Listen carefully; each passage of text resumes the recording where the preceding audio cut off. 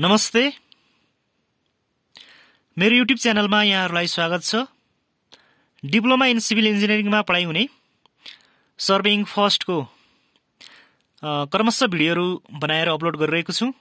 योभन्दा अगाडिको भिडियोमा युनिट वानको जो चाहिँ सिलेबस अनुसार सम्पूर्ण थ्योरीको भिडियो बनाएर अपलोड गरिसकेको छु।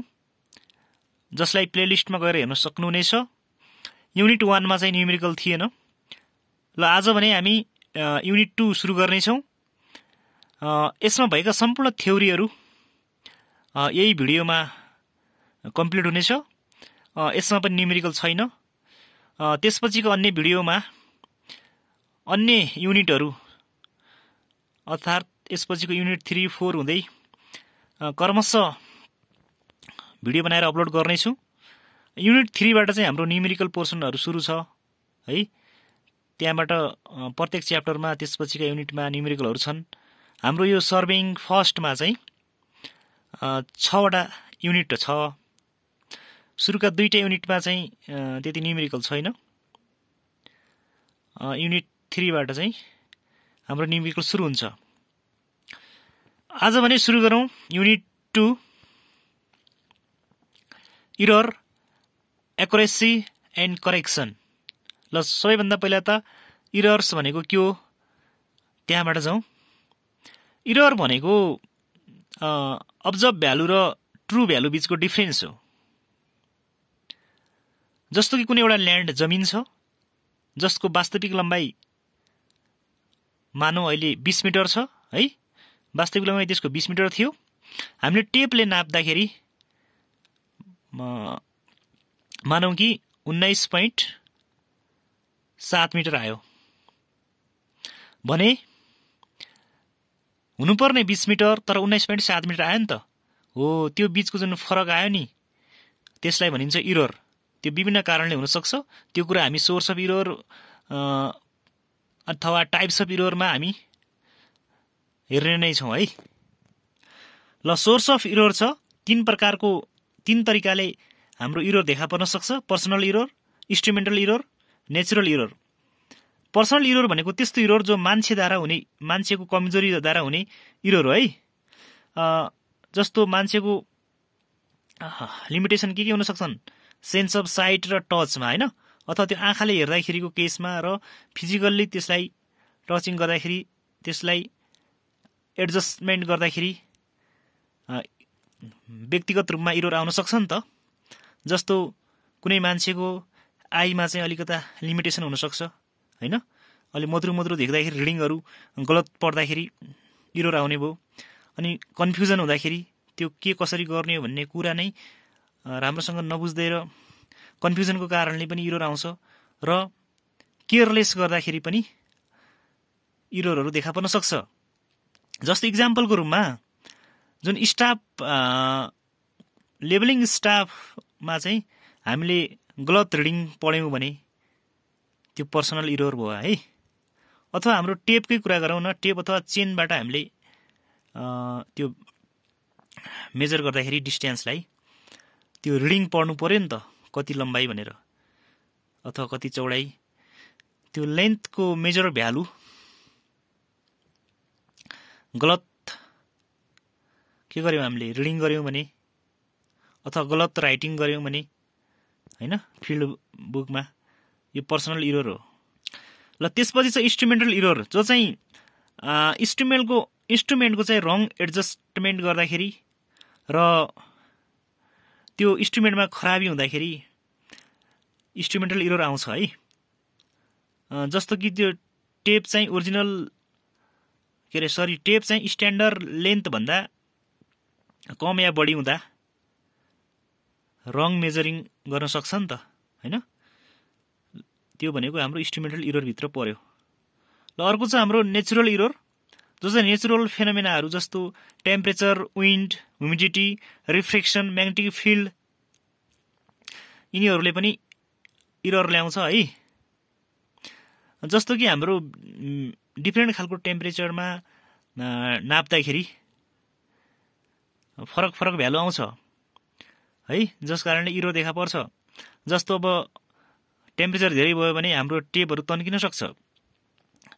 टेम्परेचर कम भयो भने खुम्चिन सक्छ। जस कारणले हाम्रो टेम्परेचर बढी हुँदाखेरि नाप्दाखेरिको भ्यालु हाम्रो कम देखाउन सक्छ।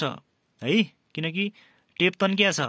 यदि टेम्परेचर कम हुँदाखेरि खुम्चिन्छ टेप त्यस्तै बेला रिडिङ चाहिँ बढी देखाउन सक्छ।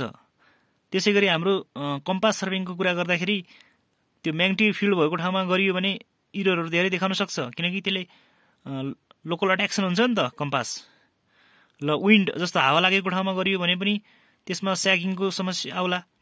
त्यस कारणले इररहरू देखा पर्छन्। हो यसरी देखा पर्ने कुरा भनेको नेचुरल इरर हो। र यसपछि टाइप्स अफ इररभित्र का कुराहरू हामी पढौँ। यसमा चाहिँ हाम्रो क्युमुलेटिभ इरोर कम्पेन्सेटिङ इरोर र एक्सिडेन्टल इरोर भनेर छ है। ल सुरुमा क्युमुलेटिभ इरोर भनेको के हो त्यो बुझौँ। यो चाहिँ हाम्रो सेम डाइरेक्सनमा चाहिँ एकुमुलेट भएर हुने इरोर हो। है? अथवा त्यो इरोर चाहिँ हाम्रो वास्तविकताको जति लम्बाइ छ नि वास्तविक जुन त्यसको जति हुनुपर्ने त्यो भ्यालुभन्दा बढी देखाएर अथवा कम देखाएर हुनसक्छ यो इरोर है? अथवा एकचोटि वास्तविकताभन्दा बढी देखाइरहेछ भने त्यो बढी देखाउँदै देखाउँदै जान्छ।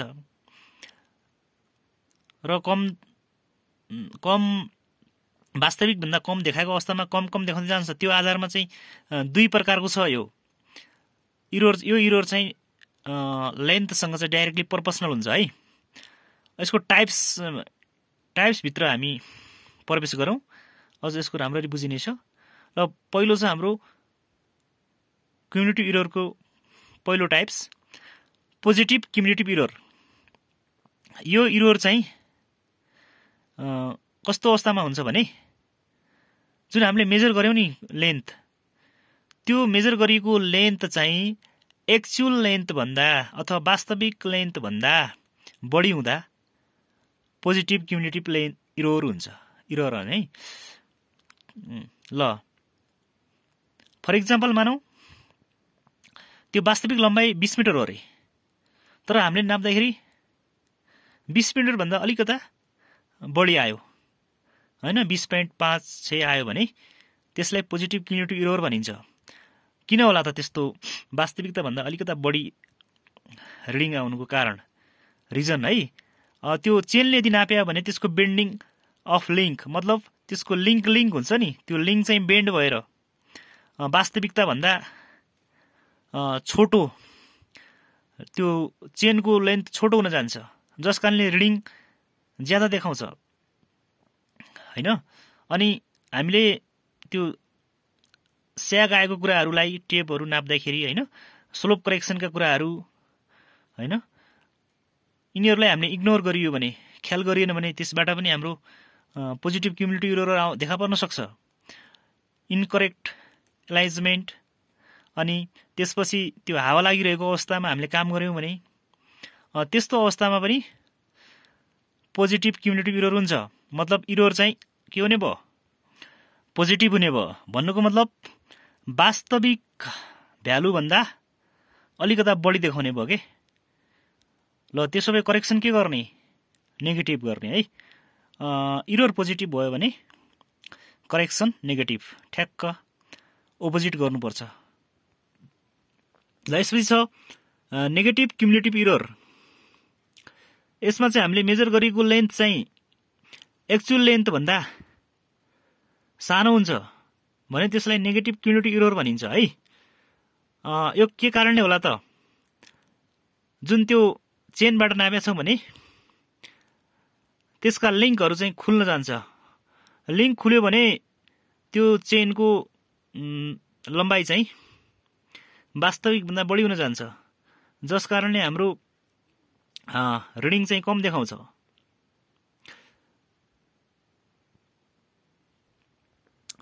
अर्थात् अब अर्को टेपले नापे हो भने पनि टेपको चाहिँ टेम्परेचरको कारणले टेम्परेचर बढी भएको कारणले लम्बाइ टेपको तन्किन्छ। अनि टेप तन्केपछि त्यसले चाहिँ त्यो नापिएको भ्यालु होइन मेजर लेन्थ चाहिँ कम देखाउँछ।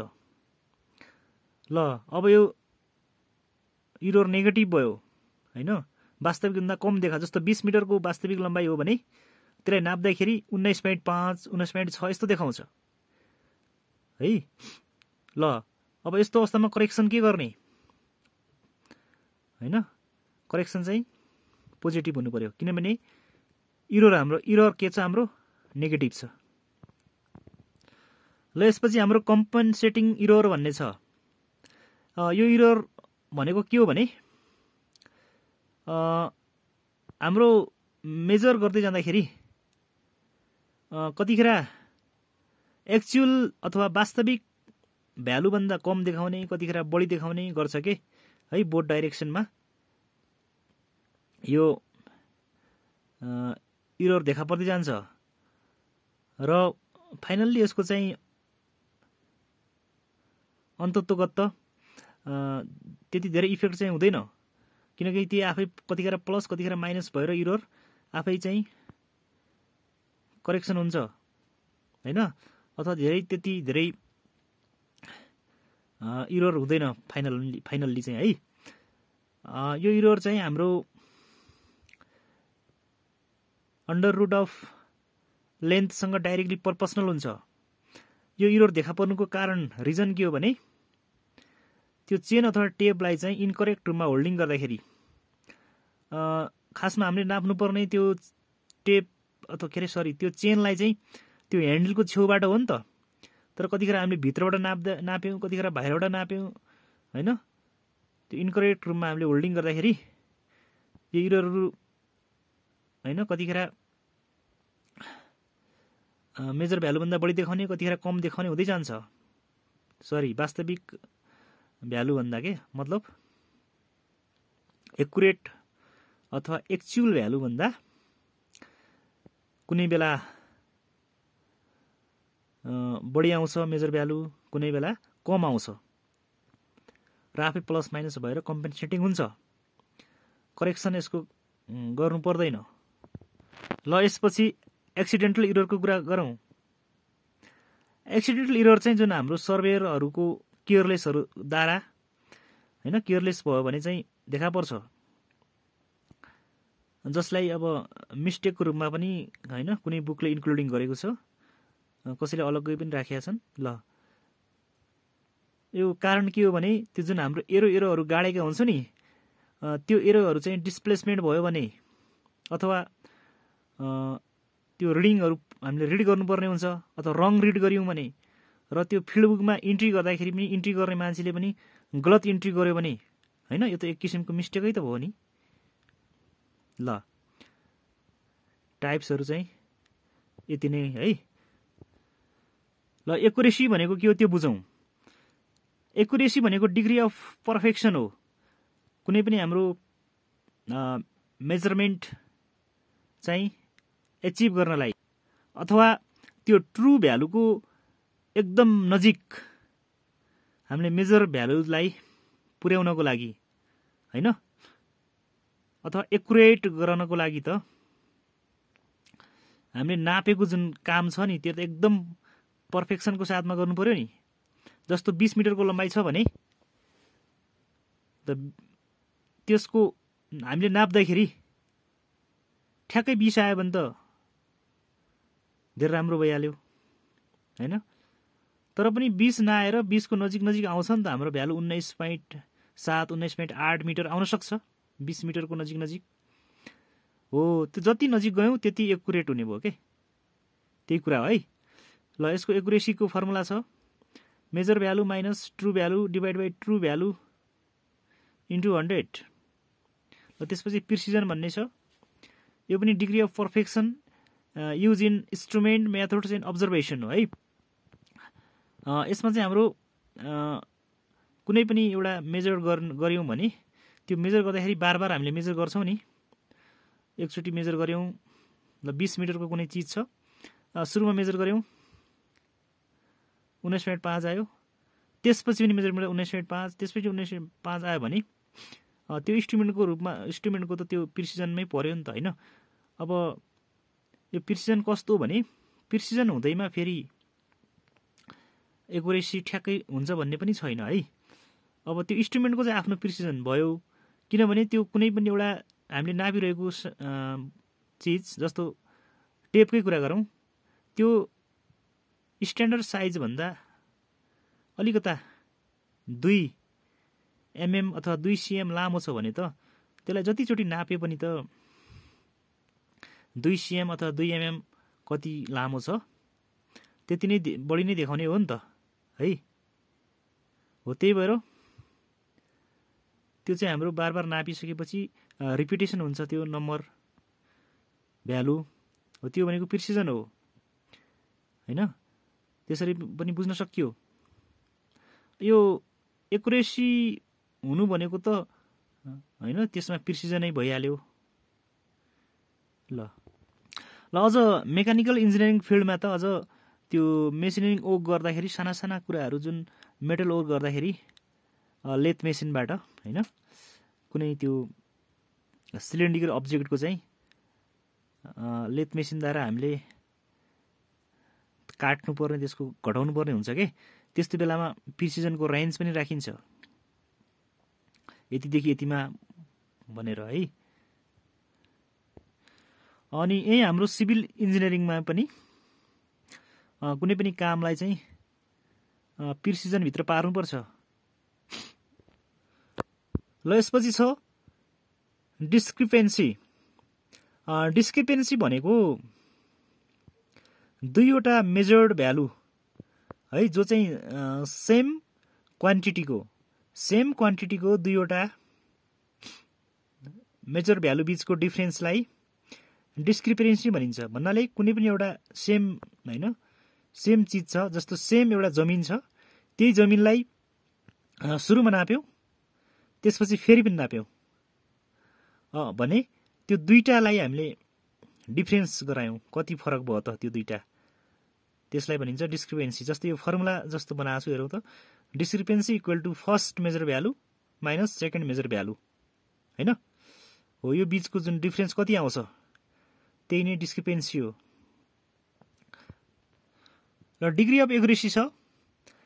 डिग्री अफ एकुरेसीले के जनाउँछ भने मेजरमेन्ट गर्दाखेरि हामीले कति एकुरेसी चाहिँ एटेन्ड गर्न सक्यौँ त त्यो कुराहरू चाहिँ डिग्री अफ एकुरेसीले बताउँछ है।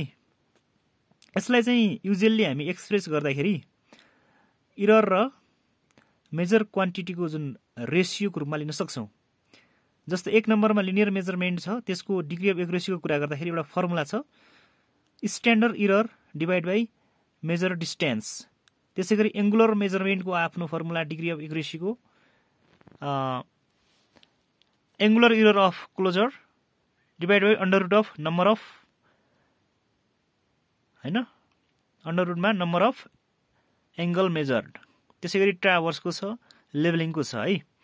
ल यो युनिट टूमा भएको सिलेबस अनुसारका सम्पूर्ण थ्योरीहरू कम्प्लिट भएको छ।